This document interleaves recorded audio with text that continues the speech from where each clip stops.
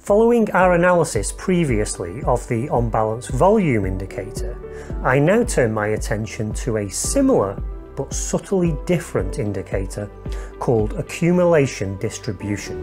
This indicator uses a calculation that possibly represents the reality of the interaction between volume and price action in a better way than on-balance volume does. So does this make it a better predictor of what price action will do next? Well, I'll let you be the judge of that. Stay tuned.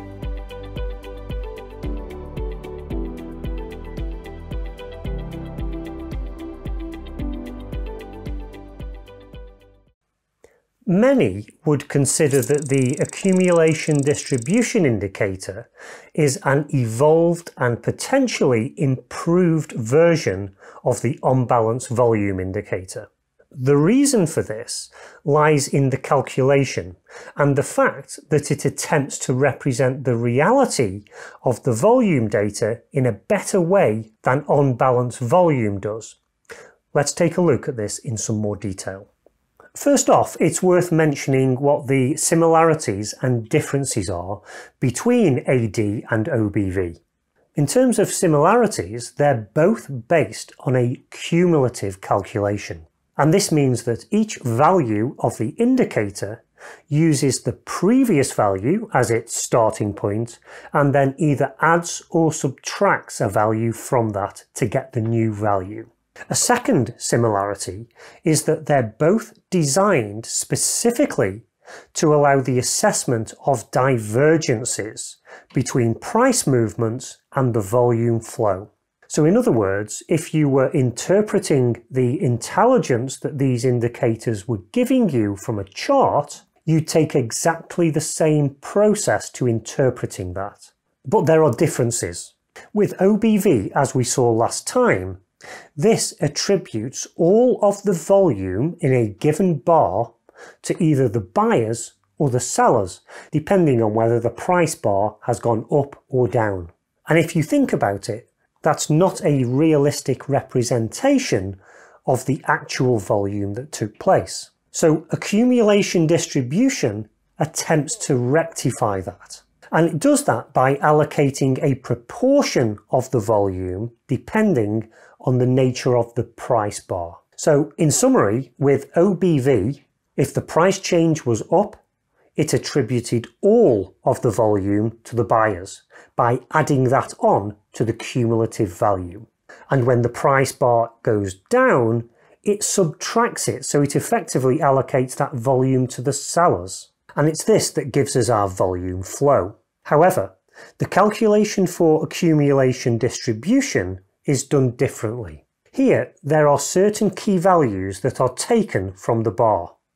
The difference between the close and the high, and the difference between the close and the low. This is then compared to the entire range of the bar, and this gives us what's called our multiplier, or money flow multiplier. Now, by plugging in some hypothetical values, this will help us understand how this multiplier works. So let's take an example where we have a bar that actually closes at the high. So the value of the close is equal to the high here. And so if you plug those values in, you'll see that the multiplier in this case is plus 1. And this means that when the bar ends on a high, all of the volume will be attributed to the buyers who've pushed the bar up to that level. Whereas, if a bar closes at its low, so the close is equal to the low, and we plug those values in, we can see that here the multiplier has a value of minus 1. And so when the bar does close on the low, all of the volume gets attributed to the sellers. But of course, more often than not, that won't happen and the close price will be somewhere in between. And based on that ratio, it will determine how much of the volume is attributed to buyers and how much to sellers. And so it's this difference in the calculation that aims at providing a much more realistic volume flow. So next, the accumulation distribution calculation is actually very similar to OBV, except this time we're using that multiplier value to determine how much volume is added or subtracted from the previous value. And remember that that multiplier value always ranges from a maximum of plus 1 all the way down to a minimum value of minus 1. So this should produce a more accurate volume flow compared with the more coarse approach taken by OBV by allocating an appropriate proportion of volume to the indicator. So let's now compare OBV and AD on a chart. So at the top, obviously, we have the price action here. The middle blue section is the OBV and the bottom yellow indicator is the accumulation distribution. And as you can see, broadly speaking, they follow the same pattern. However, there are differences. So for example, if we look at the right hand side of the chart over here, we can see that at the end, the accumulation distribution is actually making new highs, whereas that's not the case for OBV. So let's now compare a specific example. Let's concentrate on the price action between the two green bars.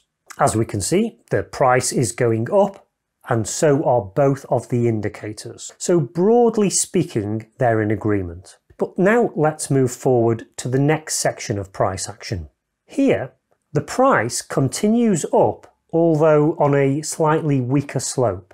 But if we look at the two indicators, this is where we begin to see a difference. The OBV is also going up with a similar strength to what it was before, whereas the AD indicator is fairly flat. So if we categorise both of these, we could say that OBV does not have a divergence currently, whereas the AD does. Now, when we see a divergence, that's often a sign that the trend is weakening and following that we might see a reversal. Now in this particular case, look what happens to the price.